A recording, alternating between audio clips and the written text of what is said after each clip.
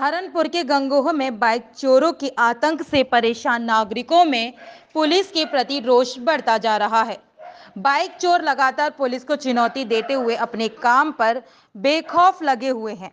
मोहल्ला अशरफ अली निवासी अनीस ने कोतवाली में तहरीर देते हुए मांग की है, शाम करीब चार बजे वह अपने घर के बाहर बाइक खड़ी कर जैसे ही अंदर गया, बेखौफ चोरों ने उसकी बाइक चोरी कर ली। पास ही स्थित घर में लगे हुए सीसीटीवी कैमरे में चोरी की घटना कैद हो गई।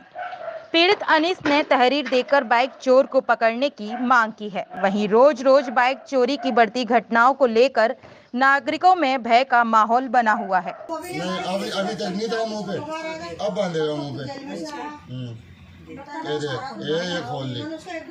ये खोल ली। हाँ, तो ना खोलने में ये ले इधर को गया देख मुँह पे कपड़ा नहीं बाँध रखा इसने। सर का बाँध रखा मत मत के पे। मत के हाँ नीचे ऊपर रखा ना फिर सिर्फ़ फिर कहाँ पिछाना जाएगा ना ना। पहचान लेंगे वो तो